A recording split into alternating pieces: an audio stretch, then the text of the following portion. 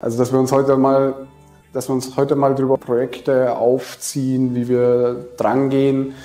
Ähm, wir machen, glaube ich, vieles schon durchaus so, wie es Industriestandard ist, aber ein paar Sachen machen wir vielleicht auch ein bisschen, äh, beziehungsweise die Projekte oder die sind dann auch nicht immer so ganz der Standard. Unsere Vorgehensweise, unser Mindset. Wir sind keine große äh, IT, sondern äh, versuchen da individuelle Softwareentwicklung äh, und es zieht sich halt auch äh, durch bis hin, wie gehen wir die Projekte an, wie stellen wir uns auf den Kunden. Das Problem hat man ja oft, wenn man bei Grohl, die haben logischerweise, müssen die ihre, ihre ganzen, die brauchen da feste Prozesse, wie das Ganze, die haben ihre festgelegten Tools, die haben oft äh, festgelegte Software, haben bestimmte Architektur. Und äh, da versuchen wir halt und zu sagen, okay, also bei Projekten, die so mittlere Größe haben, also jetzt nicht diese Milliardenprojekte oder so, aber durchaus auch bei Projekten, die so in den oberen sechs bis siebenstellig, dass man da sagt, okay, äh, da versuchen wir diese, diese individuelle Softwareentwicklung, dass für den Kunden der maximale Wert dabei rauskommt und uns auf die konkreten Anforderungen beim, beim Kunden einzustellen unser Fokus liegt. Und äh, ich würde jetzt da mal drauf eingehen, wie wir mit dem Kunden da, wie wir auf den Kunden zugehen oder der Kunde auf uns zukommt und äh, wie sich da so die, die erste, weil immer so eine gewisse Hürde dann so aus dem ersten Kontakt. Der Kunde hat oft ein Bedürfnis, also das, das hören wir ganz oft, ja. Ähm, oft ist aber auch so eine gewisse Hemmung da, weil klar, da ruft dann jemand bei uns aus dem Marketing beim Kunden an und sagt, hier, wir können was machen oder der Kunde kommt jetzt sucht im Internet, da gibt es irgendwie x Webseiten und wie findet man jetzt da überhaupt mal das Visand am Wert? Ist ein bisschen schwierig dann für uns auch da das äh, unsere Sichtweise auf die Dinge und drum mal so ein bisschen drauf einzugehen, wie lernt man sich kennen, wie kann man in so einem Projekt, wie können wir helfen, die Probleme zu erörtern, solche Sachen, also äh, dass man da halt in, in den Gemeinden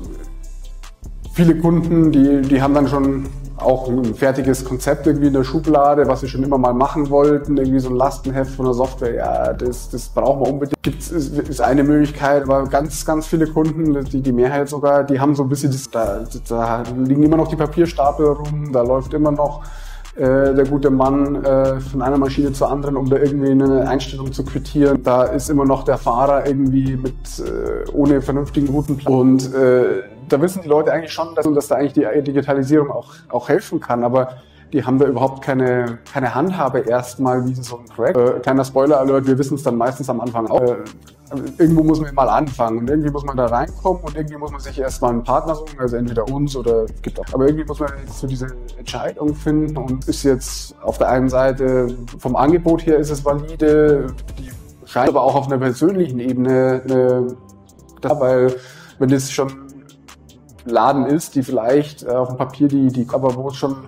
äh, erstmal die, die, die ersten Beratungen in 20-seitiges Vertragsdokument war,